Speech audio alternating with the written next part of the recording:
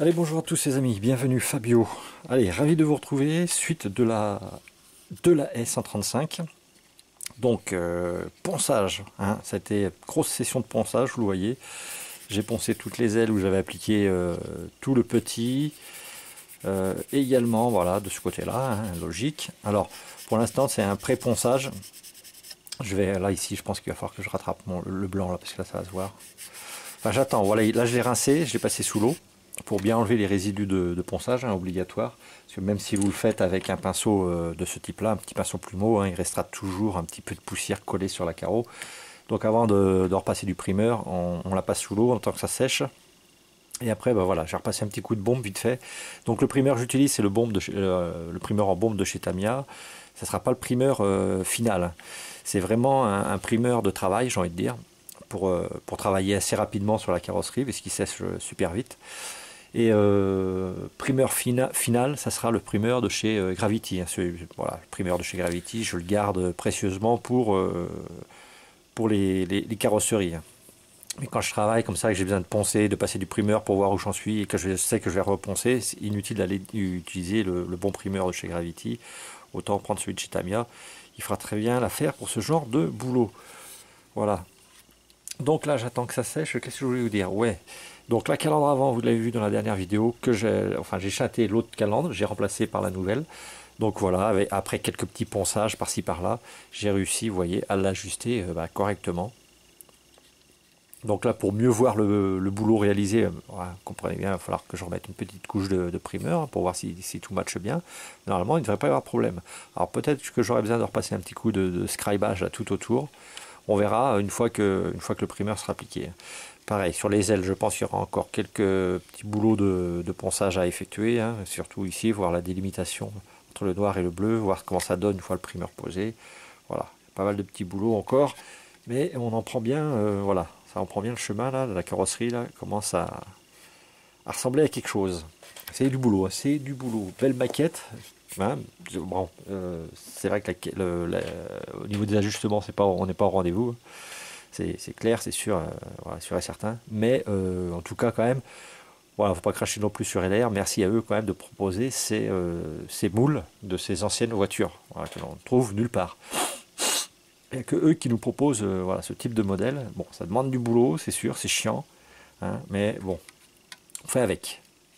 Alors, où j'en suis? Donc la carrosserie, ça c'est fait. Le châssis, ça, par contre, j'y passerai un petit coup de, un petit coup de patine dessus, enfin un petit coup de, poussière, hein, histoire de le, pas de l'encrasser, mais si l'encrasser légèrement. voilà, je vais pas lui mettre de la boue partout, mais un peu de poussière, ça donnera un petit peu de vie. Ça, on fera ça plus tard. Euh, qu'est-ce que je peux vous dire de plus? Ouais, j'ai fait un petit test avec ça. J'étais en train de regarder ça tout à l'heure. C'est ce qui va venir se mettre euh, là-dedans. Voilà. Dans la calandre, hein, c'est l'espèce de grille. Donc il faut que je regarde sur quelques photos si je peux pas remplacer cette pièce plastique par du mèche. C'est pour ça que j'ai sorti ici ma petite boîte de, de rab de mèche là. Je me demande si avec du mèche ça serait pas plus. ça serait pas bien mieux. Vous voyez, mettre ça comme ça, blâme. Alors je sais pas, je pense pas que ça soit en mèche hein, sur la sur la de la haie, parce que ici on voit bien que c'est représenté en, en strie, vous voyez, c'est des lignes. Il faut que j'aille regarder quelques photos, bon, sinon on mettra cette pièce-ci. Hein. Enfin, bon, ça sera pas celle-ci, ça c'est celle du premier jet. Et euh, je me demande si ça doit pas être peint aussi couleur, euh, couleur carrosserie cette pièce. Faut que je regarde quelques photos. Il m'a semblé voir euh, certaines de la haie avec cette pièce-là, là, les grilles peintes de la couleur de la carrosserie. C'est-à-dire là, en l'occurrence, ça serait peut-être en rouge, enfin couleur des ailes, ça serait peut-être en rouge. Enfin, faut voir faut que je revérifie quelques photos. Donc voilà, ça c'est fait. Donc qu'est-ce que je vais faire maintenant? Parce que là, je vais attendre que ma carreau sèche, qu'elle soit bien, vous voyez, qu'il n'y ait plus d'eau pour que je puisse passer ma, couche de primeur. Le châssis, j'en suis là. Il euh, va falloir que je m'occupe du flocage, faire un petit flocage rouge. Encore une fois, il faut que je regarde quelques, quelques photos, parce que c'est peut-être pas rouge, hein, ce sera peut-être beige. Euh, donc voilà. Je vous montre un petit peu le manuel. Donc ça, le radiateur, on va pas le mettre, on s'en fout, on ne le verra pas de toute façon, il risque de gêner au niveau des capots ici. Avec la, hein. Vous voyez, j'ai l'ancienne version ici. Toc. Ça, normalement, ça vient se mettre là-dessus. Là, sur le petit picot qui est ici. Il vient se mettre comme ça. Et je pense que ça doit gêner en hauteur. Donc ça on ne le mettra pas puisqu'il sera complètement euh, invisible. De toute façon, hein, comme je vous l'ai dit, je vous le répète, ça, ça reste fermé. Hein. Le capot, on ne pourra pas l'ouvrir, donc on n'aura pas de visu sur le moteur. Le moteur sera posé à part dans la vitrine, juste à côté. Donc ben, il vient de rester à faire, euh, ça serait bien que je mette ça là, que je complète les systèmes de, jantes. Hein. Enfin, j'appelais ça pas, des jantes, de, disques de freinage. Voilà, dans la première version, c'était ça quoi on vient coller cette petite, euh, petite pièce. ici. Alors pareil, hein, c'était le gros bordel dans la première version parce que faites bien attention. Voyez, ici vos pattes là, il y a deux petites pattes qui ressortent. Il faut qu'elles soient bien, euh, bien droites. D'ailleurs, je me demande si je vais pas être obligé de les poncer. Dans la première version, je suis obligé de les poncer parce que ma pièce ne rentrait pas correctement dessus. Je vais chercher les pièces, vous allez voir.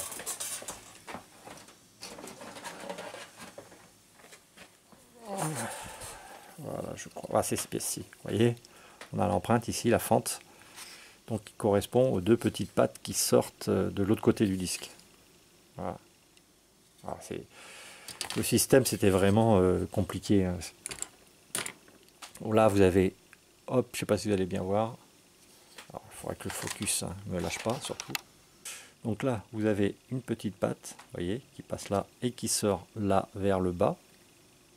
Et il y a une toute petite pièce qu'il faut découper sur une grappe. Voilà, qui est juste ici, vous voyez la petite pièce là, en, une espèce de boomerang là. Voilà, ça, il faut, euh, faut venir la coller dessus. Et euh, la pâte ressort de ce côté-là. Voilà. Et c'est ce qui nous donne après cette, cette forme-là qui doit aller se loger dans cette pièce-ci. C'est-à-dire que je vais couper. Donc là, j'ai deux fois numéro 6, donc peu importe, hein, il n'y a pas de gauche ni de droite, je pense. Hop. Sinon, elle porterait un numéro différent. Et ça doit venir se loger concrètement Alors, il y aura encore des petites rectifications à faire, parce que je ne sais pas si vous voyez, euh, on n'est pas totalement droit là, au niveau des, roues. Hein. Alors, j'ai fait le test dans le châssis, vous voyez ce que ça donne de ce côté-là. Alors, le problème, c'est que ces petites tringles ici, là, elles sont trop courtes et du coup, les roues partent comme ça. Alors, il faudrait que je force comme ça pour essayer de mettre ça droit. Voilà. Alors je verrai, peut-être que je vais chauffer les pièces.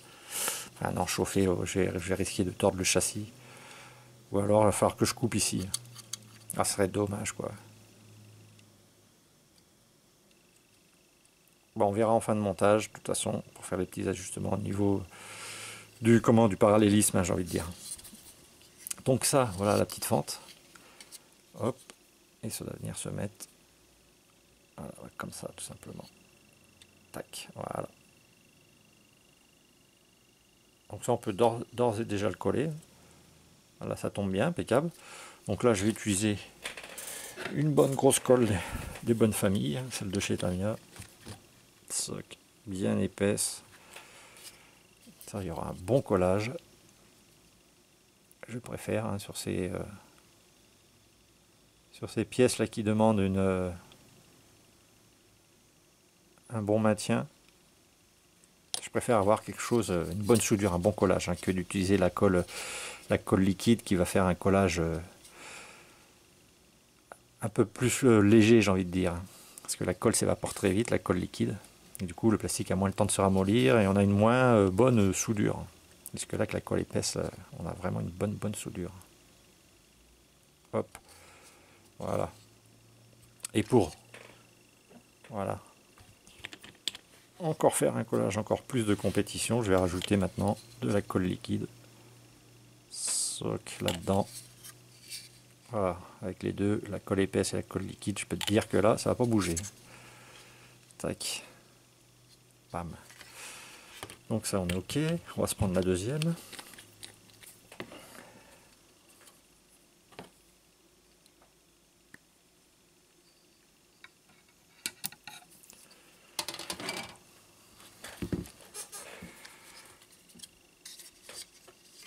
Rebelote.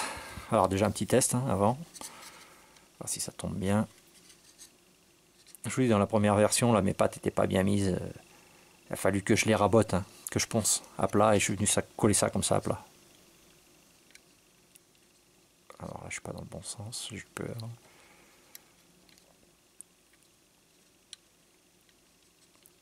Ah, on est bon, ok.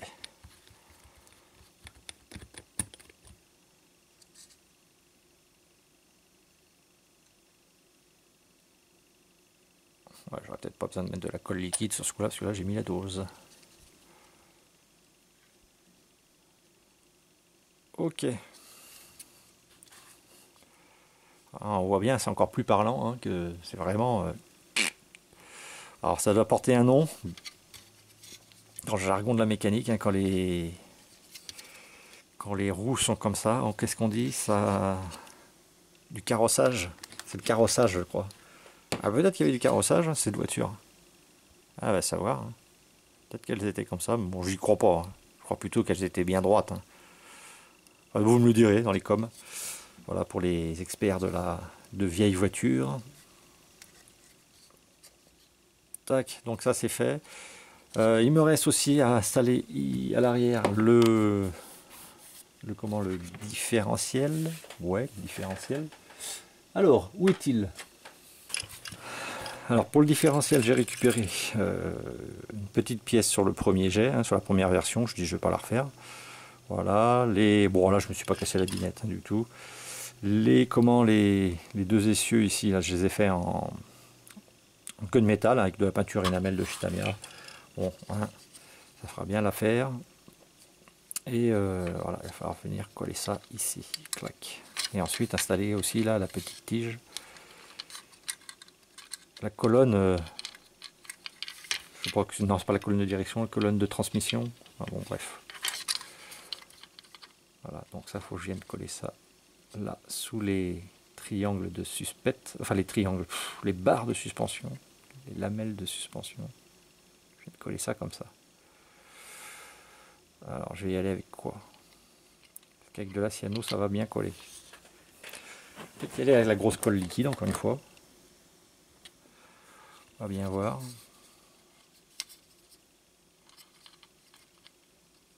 Alors, on va chercher le. Il y a un côté plat, voilà, ça va se mettre comme ça ici.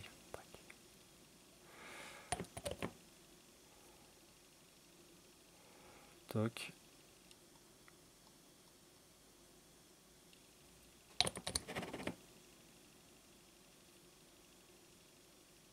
Ah, je mets la dose, hein, parce que j'ai envie que ça colle. Je sais que cette pièce elle est très chiante à coller.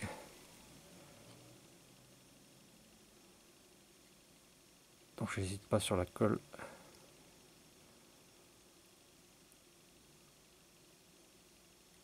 Tac, voyez. Ça se décolle.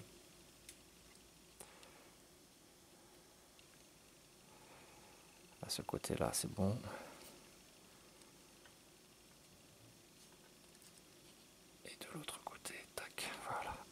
Plus. On va maintenir la pression. Voilà. Vraiment.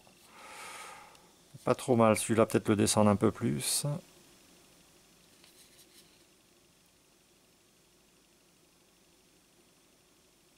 Ok.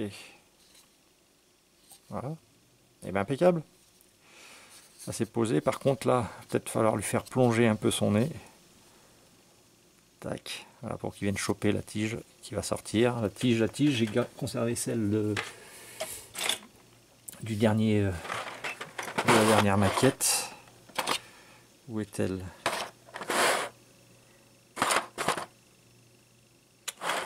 Je l'avais tout à l'heure sous la main.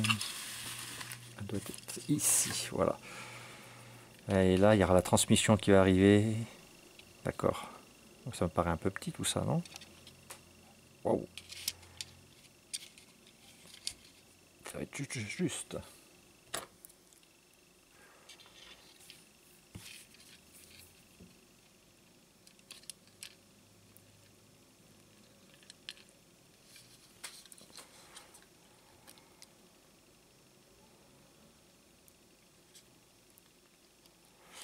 Ok.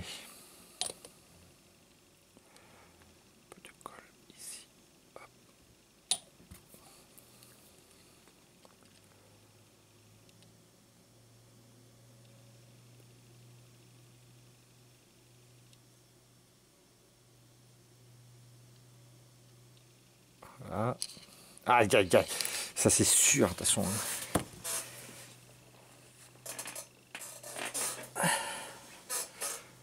Alors, j'ai l'impression que là, j'ai un côté plus large. Ici, peut-être, c'est plus fin. On va essayer de ce côté-là. Tac.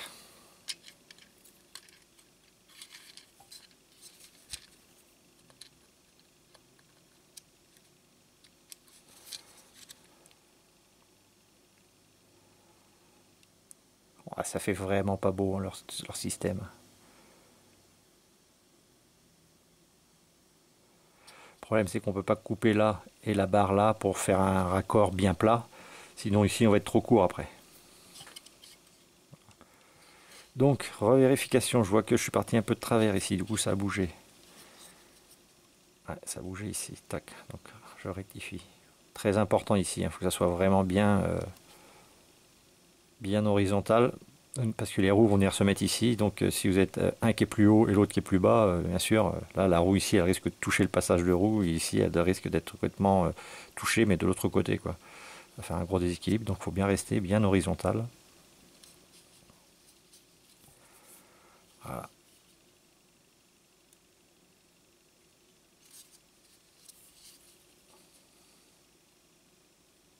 Toc.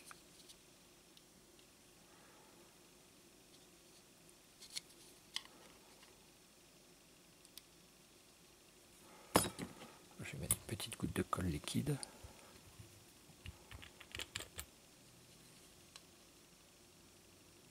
Voilà. Ça, on va laisser ça. Oh la saleté du saleté Et la colle liquide. On connaît tous ce coup-là. Ça ramollit le, le plastique et ça se redécolle.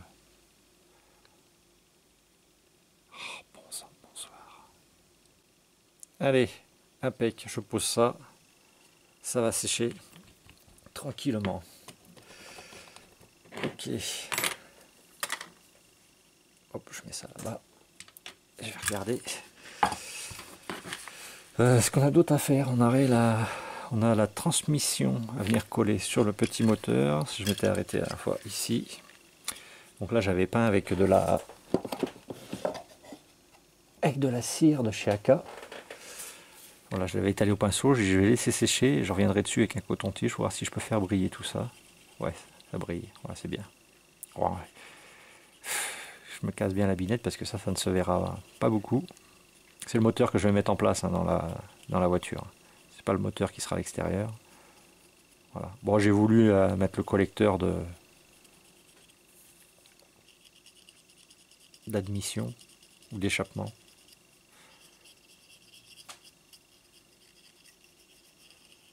Voyez, on n'est pas dans le détaillage, hein, on n'est pas dans le, les pièces, je n'ai même, même pas enlevé les, lignes de,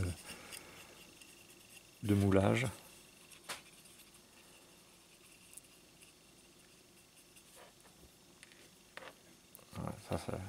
Peut-être qu'ici je mettrai, ouais, de toute façon quand je vais salir le châssis, je mettrai peut-être quelques petits résidus de, de graisse, de machin, parce que bon, bien sûr, hein, ça va venir se mettre là-dessous. On verra ça comme ça. Donc quelques petites coulures d'huile, tout ça, oui, ça peut être sympa histoire de se marrer, quoi. c'est vraiment pas histoire de faire un truc classe, hein, c'est vraiment histoire de dire, oh tiens, a des petites traces d'huile. Histoire de s'amuser avec les produits euh, de chez MIG. Ça, je crois que ça va comme ça.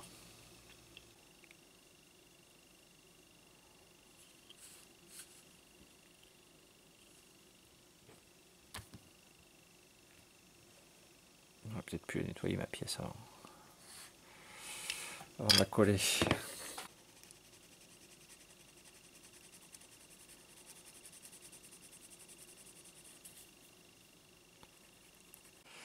Ok les amis, allez, l'avancée. On s'était euh, quitté sur la transmission que j'étais en train d'installer sur le moteur. Donc vous voyez, je l'ai collé, le moteur a été mis en place. J'ai également euh, installé la cloison ici, cloison moteur, cloison habitacle.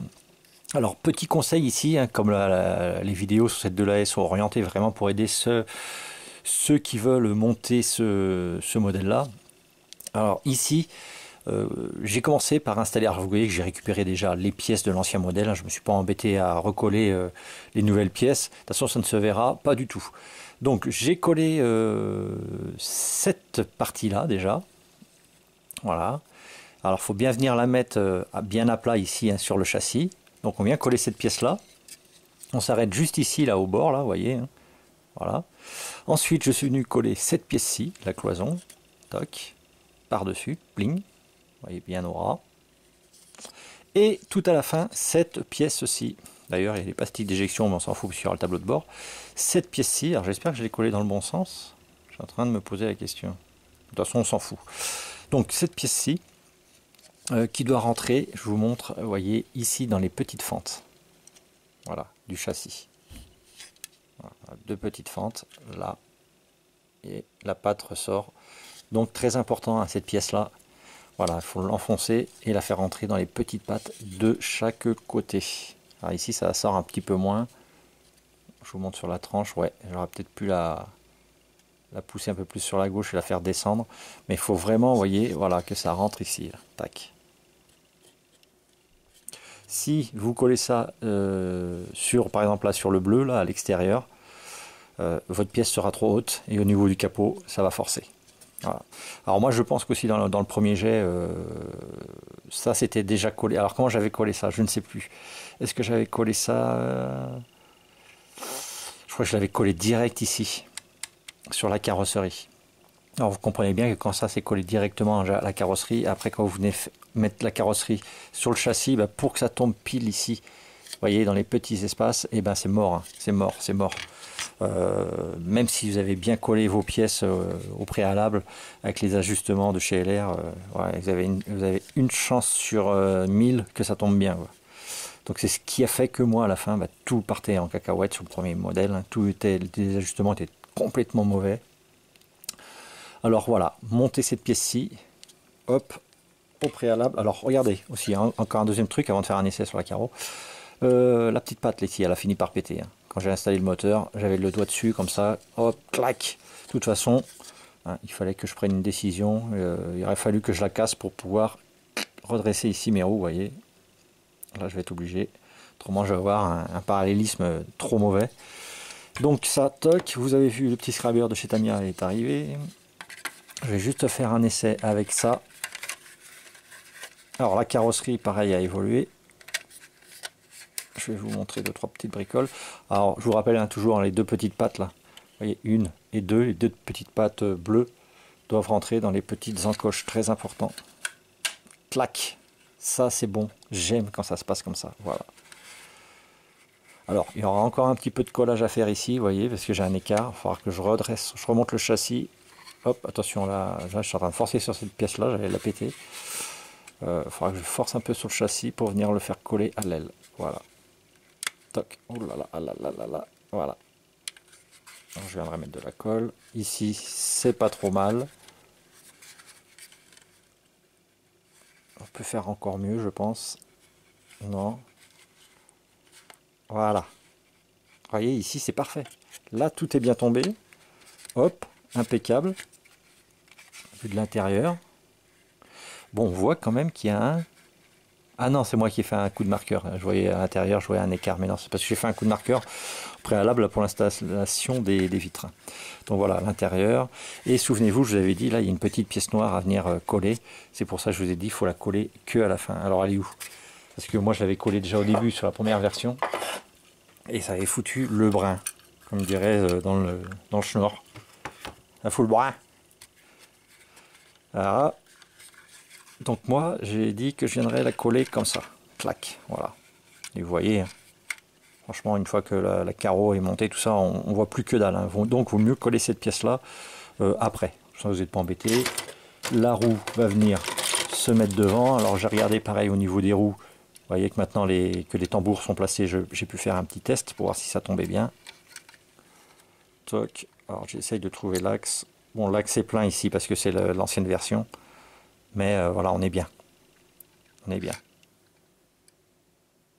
Bien centré. Alors que dans l'autre version, j'étais un petit peu décalé, j'ai l'impression. Si mes souvenirs sont bons. Donc voilà, tout pour l'instant euh, prend un bon chemin. Je suis content. Il faudra juste. Euh, alors ici, ouais, il faudra que je regarde un truc parce que j'ai l'impression quand même, vous voyez, que là, ma roue est plus haute et celle-ci plus basse. Donc il va y avoir un petit réglage à faire ici. Peut-être détordre un peu le plastique. Je me demande si c'est pas cette barre, la lamelle de suspension qui foutent le brin aussi. J'aime bien dire brin maintenant. Donc voilà. Mais pour l'instant, tout, euh, tout fonctionne bien. La calandre avant, on verra ça dans le prochain épisode parce que là, ça commence à durer. Euh, j'ai donc fait euh, rentrer le, le Scriber de chez Tamia. Voilà, je vous le présente. Alors, super matos, hein. super matos, mais qui coûte super cher, 28 hein. euros la petite lame. Voilà. Alors, j'avais le choix entre du 0,15 et du 0,4. J'ai hésité, je ne savais pas trop ce qu'il me fallait. comme je ne suis pas non plus un adepte du scribage, donc euh, je suis parti, je me suis dit, allez, du 0,4, bingo, euh, mauvais choix. C'est le 0,15 qu'il faut. Parce que vous voyez bien que le 0,4, en fait, c'est énorme. Alors je vous dis ça, hein, si vous voulez vous procurer cette, euh, cette lame à scriber, le 0,4, c'est vachement trop gros. Alors ici, j'avais scribé avec une lame d'Ixacto. Vous voyez que le, voilà, la ligne de structure est correcte par rapport à la réalité. Voilà, on est bon. Et bien le 0,4 ici de chez Tamiya, si je vous mets ça tout près, c'est quand même pas mal gros. Hein. C'est pas mal gros. Alors je l'ai utilisé pour faire mon, mon entourage ici de calandre, et voilà ce que ça nous donne. Bon, ça nous donne une ligne de structure assez grosse. Alors si on veut euh, calculer bah, du 0,4, on le multiplie par 24, euh, hein, parce que c'est l'échelle 1 24e. Donc du 0,4 fois 24, ça nous donne du 9,6 mm. À peu près, on va dire à peu près 1 cm. Donc si je scribe par exemple ici les entourages de mes portes avec cette lame-là, donc ça fait comme si dans la réalité j'avais un écart entre ma porte et la carrosserie d'un centimètre.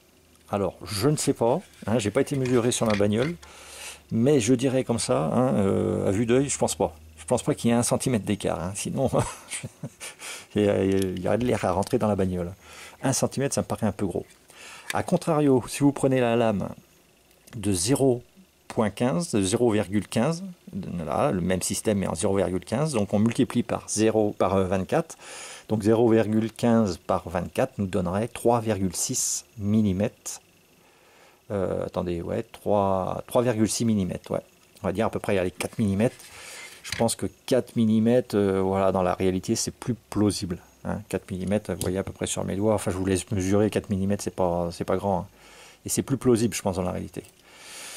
Euh, donc, pour rescriber nos lignes de structure sur les modèles A24, choisissez la lame 0,15. Voilà, c'est un conseil, parce que moi, la lame de 0,4, ici, je ne sais pas à quoi me servir. Hein. Franchement, là, je vais, si, je vais faire mon tour, mon tour de calandre. Bon, vous voyez ce que ça donne. Là, j'ai mis un peu de jus, là. Il faudrait que j'enlève le surplus, là, pour bien voir. Bon, j'ai fait, ça va le faire. Ça, va être, ça sera certes un peu trop gros pour la pour être vraiment raccord avec la réalité, mais euh, bon, on s'en contentera. Euh, là, par contre, petit fail côté gauche, euh, parce que ça, ça stick du feu de Dieu. Ça stick du feu de Dieu. Alors je vais vous faire un petit test. Ah non, je vous en parlerai dans la prochaine vidéo. Ça stick du feu de Dieu. Ça marche super bien, ça coûte super cher, mais franchement, euh, ça vaut. Enfin, ça vaut. Si ça dure dans le temps, ça vaut vraiment les 28 balles, les 28 euros. Ah, ça, ça mais alors à mort. Hein. Alors, est-ce que la pointe est-ce que ça va durer? Ouais. Est-ce que ça va pas se, se désaffûter, se désaffiler? Euh, Ouais, désaffûter, on va dire plutôt. Se désaffûter au fil du temps, je sais pas. C'est en tungstène de machin truc, donc apparemment c'est du bon matos et c'est fait pour durer.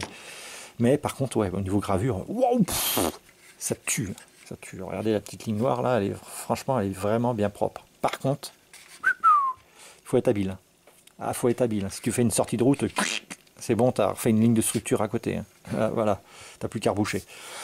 Donc on verra ça dans le prochain épisode. Alors ici, vous voyez, il faut que je rescribe parce que j'avais, j'étais pas content de ma, de ma ligne, elle était pas très belle.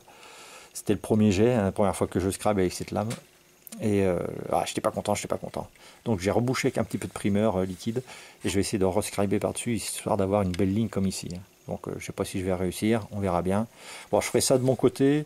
Et euh, voilà, parce qu'avec la caméra ici, les bras tendus et tout, je sens que je vais encore faire du caca. Et avec ce genre d'objet là, il faut vraiment être précis. Hein, parce que voilà, ça, ça scribe, partout où ça passe, ça scribe. Voilà les amis. Bon, euh, je sais pas si je dis que je suis désolé de la vidéo qui est assez longue, qui était assez, assez monotone. Bon, c'est du live, enfin c'est du live, du semi-live. Les vidéos de la, de live sont vraiment tournées, comme je le dis, pour ceux qui veulent monter cette, euh, cette maquette. J'essaie de donner des petits conseils, des astuces. Enfin, c'est pas la encore une fois, c'est pas. euh, si vous n'êtes pas sûr de ce que je dis, ne foncez pas comme je fais. C'est juste, moi, je vous explique les, les petits problèmes que je rencontre et comment j'y remédie. Il y a sûrement d'autres solutions. Enfin bon, euh, là, on peut voir qu'il y a une belle euh, ouverture ici, mais euh, pff, je sais pas si je vais combler. Il faudrait que je mette du petit ici, ici, en dessous. Ah, il faudrait peut-être que je mette du petit, mais tu vois pas encore, toi, le. Il faut que j'enlève le châssis, de toute façon. Ça serait plus facile, mais je crois que je vais être obligé de le faire. Ah, les choses qu'on n'aime pas faire, vous savez, quand on évolue dans le montage, commencer à monter, démonter. Voilà, tac. Donc ouais, là, s'il faudra que je, faut que je mette une petite, bouse là de, petit, hop, ça va ressortir un tout petit peu ici derrière. Je passerai mon coup de pinceau pour étaler. Tiens, bon, on fera ça dans la prochaine vidéo. Alors ouais, les amis, comme je vous dis, hein, c'est des vidéos qui sont très longues, hein, puis c'est du live. Il y a beaucoup de blabla. Alors euh, voilà, il faut prendre hein, ce que vous voulez prendre et puis bah, vous avancez le curseur si vous trouvez que c'est trop long par moment. Donc voilà, merci à tous. Si vous aimez, bah, vous laissez quand même un petit pouce, ça encourage. Et puis dans la prochaine vidéo, on verra ça. On va mettre le petit, on va essayer d'avancer aussi euh, bah, petit à petit sur différentes choses. Je ne sais pas trop encore ce que, je, vais faire. Bon, j'ai pris un peu d'avance, vous voyez, il y a le tableau de bord qui est euh, déjà prépeint en couleur un petit peu marron foncé. Je vous expliquerai aussi les euh, parties transparentes. Voilà pourquoi j'ai décidé de reprendre la pièce intégrale et non pas de refaire ma technique comme j'avais fait dans l'autre jet des vitres. Je vous expliquerai tout ça. Bon, il y a encore pas mal de boulot, hein, euh, et notamment la carrosserie. Voilà, la peinture de la carrosserie, ça va être mm, un chantier. Ça va prendre notre temps. Le, le but, c'est qu'au final, cette de la haie soit magnifique, parce que c'est vraiment une très belle voiture. Merci à tous. M'inquiétez bien de votre côté. On se revoit très vite pour une nouvelle vidéo. Et tchuss